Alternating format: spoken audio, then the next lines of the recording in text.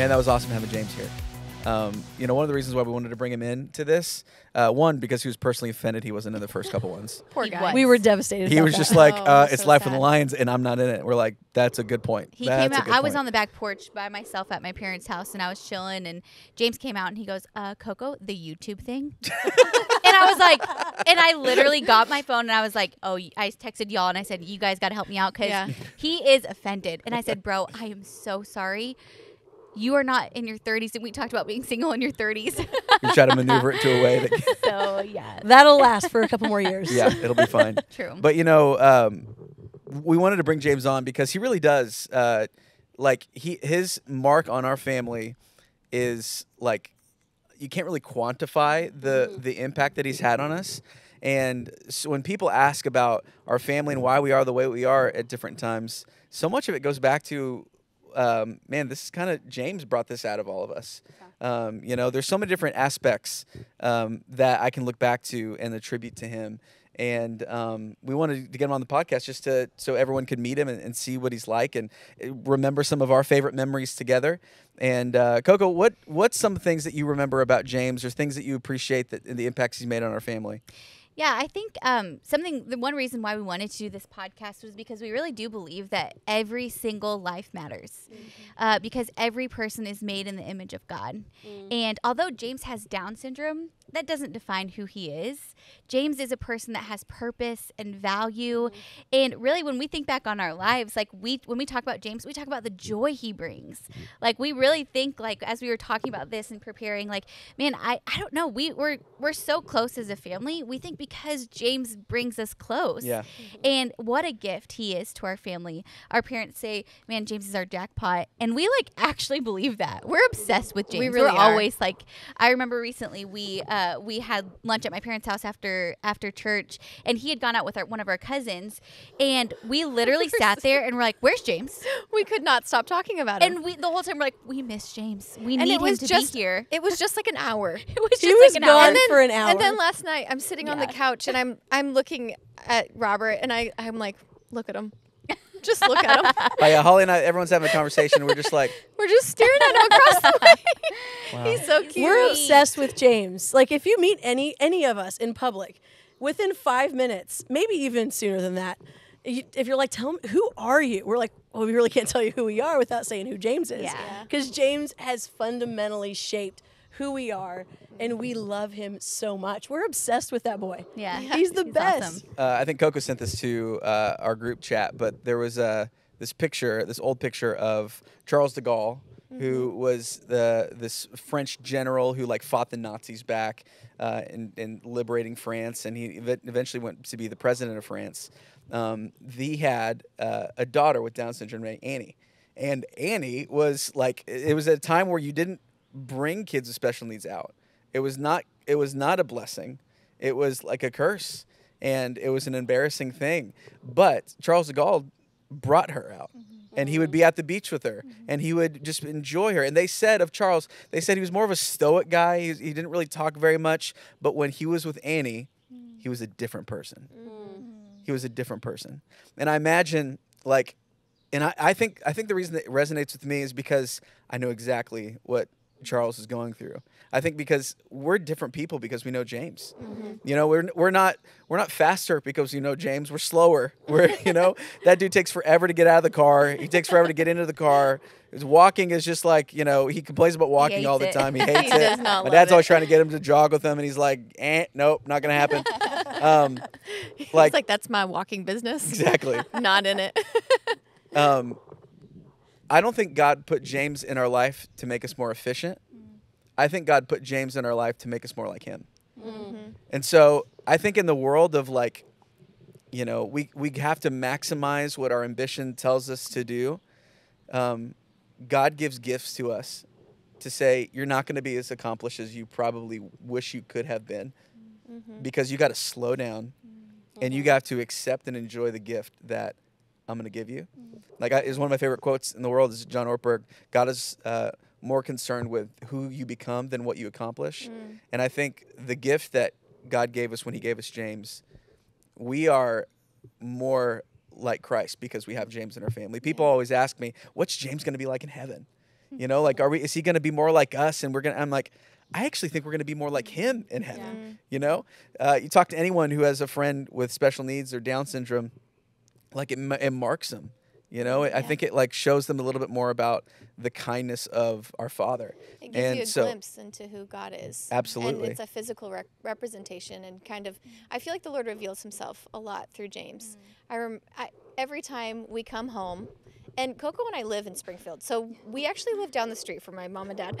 Um, so we'll Right go. here, you live here. I, This is our house. This is our house. Welcome. congratulations. Uh, we'll go on a walk, and I hadn't seen James since the the day before, right? So he opens the door, and he's like, "Lolly!" It's like he hasn't seen me in years, and oh my goodness, the joy that he has seeing me and making me feel so loved and seen and known. It's a glimpse of how God sees us, and every time we enter into His presence.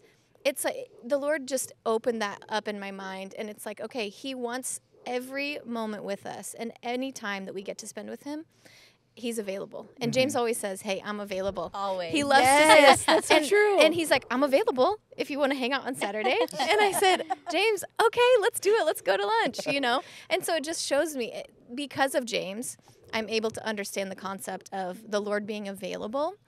And every time we take a moment and be with him he's so excited. It's like mm-hmm. it's like the first time he's he's seen us and it's just the excitement and the joy is there. And it's it just helps me understand god so much better. Mm-hmm.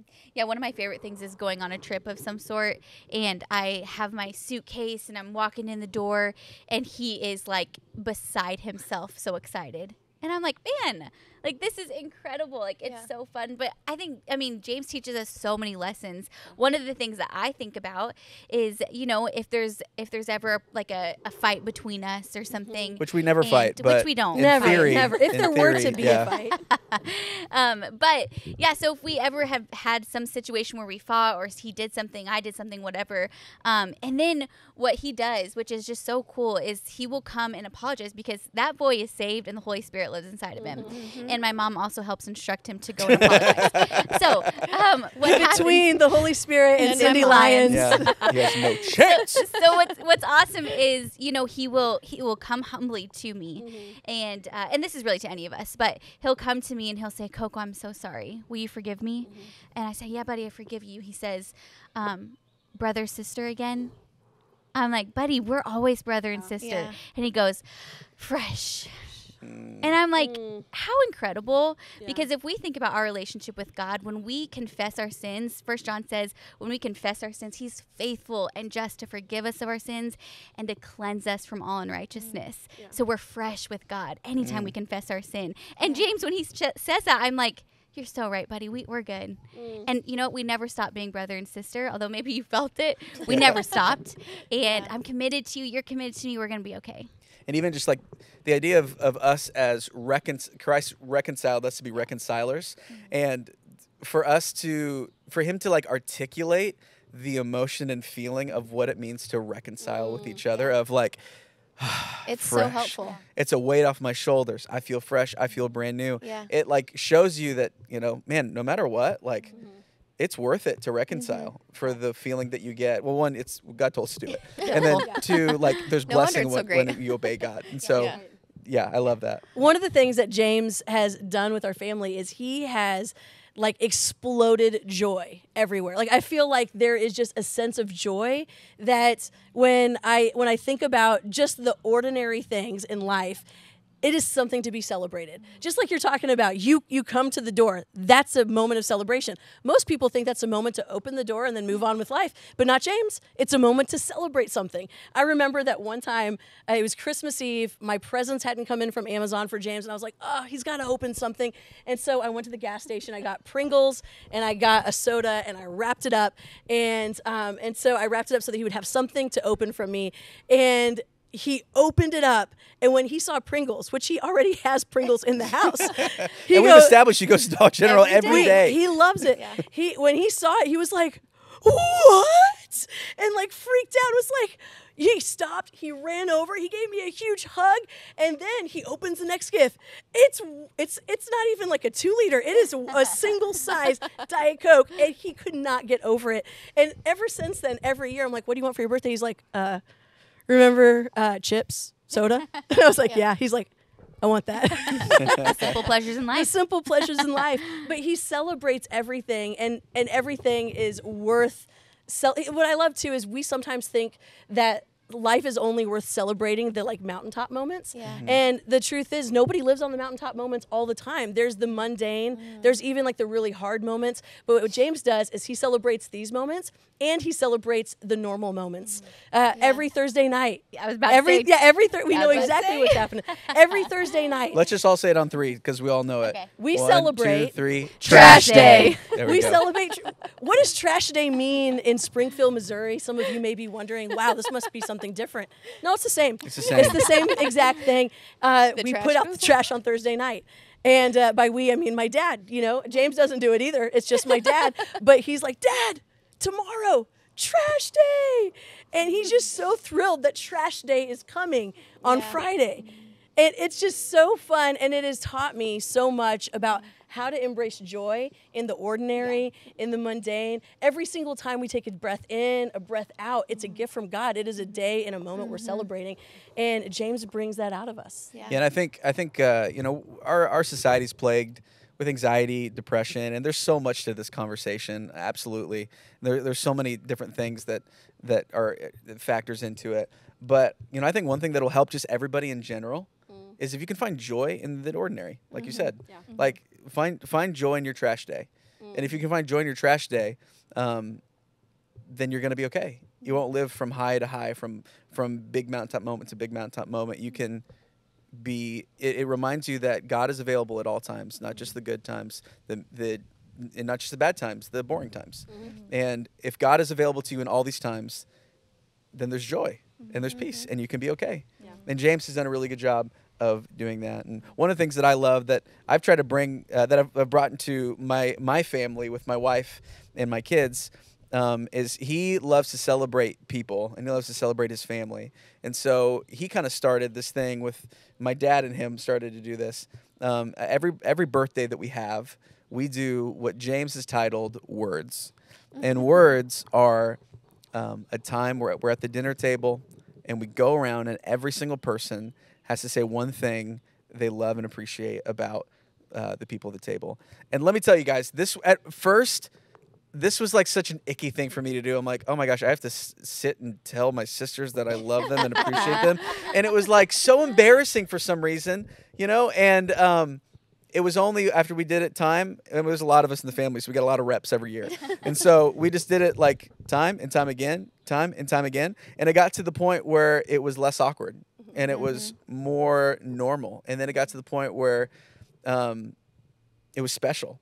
And even though we all know each other, and you know, most of us are like a words of affirmation family, we love to shower each other with praise all the time.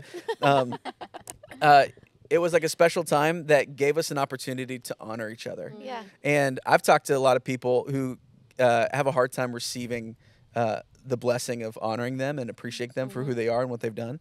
Um, and what I tell people all the time is this is not just a gift that you either have or you don't have the ability to, to honor people and to receive honor. This is a muscle that you have to work. And I tell them about my brother James, and I tell them about words that he created that we needed to go around. And, and I hated it at first, and it's amazing. I, I love that about James. Yeah, now now we do it for Mother's Day, Father's Day, any sort of Any special celebration. occasion. Honestly, we do it too much. We I do think, it a lot. you We did it last night. James just decided to honor mom and dad, and he held her hands and he just said, "Dad, you good dad? Love you, mom. Good mom, love you." You know, it doesn't have to be long, but James just loves to do it, and uh, I I love that because it's it's a muscle that we've practiced. Um, and it bleeds over into the rest of my life. Like it's not as uh, icky to do that to my friends, and you know, I I think everybody needs um, words of affirmation uh, and encouragement. And this has just been a blessing, a sweet little overflow of what God has blessed our family with that we can bless others with. Yeah. So it's a cool practice that we get to do. And I can't help but think uh, about um, other families and siblings who have a brother or sister with Down syndrome. And, you know, there's so much uh, fear in that. Um, there's so much uh, uncertainty as to, man, what is this going to, you know, parents talk to uh, our parents all the time about like, hey, what's this going to impact on our other kids?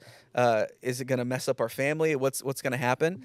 And I think part of the reason why we're doing this Yeah. is to declare that the gift that we have of James, who has Down syndrome, it is not a detractor from a family. It is the biggest blessing you didn't know you need. Absolutely. And so James has James has the ability to bless her family, like we talked about. Mm-hmm. And so the the people who have family with special needs, um, congratulations. Yeah.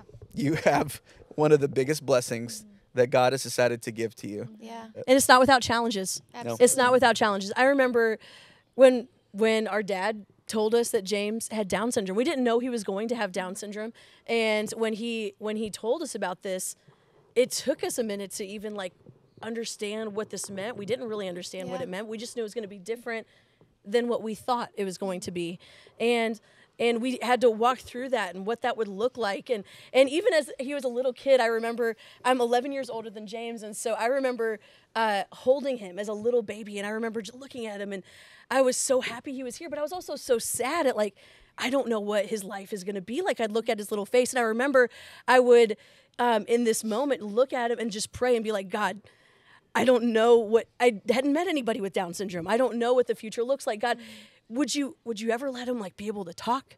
Like would you ever be able like like could you do that? Is that something that's even possible? I don't even know what's on the table with this little guy. Yeah. But like I can't imagine him not being able to communicate what he's feeling and what so I just remember like just begging God, God, just let him talk. Would you just let him talk so that we can understand what's going on in his mind? Like, mm-hmm. would you just help? Would you do this? And I think that, like, I think back to that was like 26, 27 years ago. And what's amazing is now, like, I look on the other side, I'm like, whoa, God, like, you have answered. Mm. You know, exceedingly abundantly, uh, you know, beyond what we could have ever asked or imagined, because that boy doesn't just talk, he talks a lot. talks all the he time. explains what he's feeling more than we ever explain how we're feeling. Like, Yeah. he is such a gift, but there was so much uncertainty, and we would celebrate every milestone. Yeah. It was funny, even before he could talk, he started us, he taught us how to celebrate. Yeah. Yeah. You know, I, now, every time I see a baby who can hold their neck up by Yes. themselves, I'm like, Wow. what? Get We're out of here. I'm like, is we're that an just like, oh my baby gosh. or Oh my gosh. that baby Yeah. is doing something. All of my kids who have like had different progress, like milestones, I'm like, man, my baby is a genius, incredible. she could hold her head up.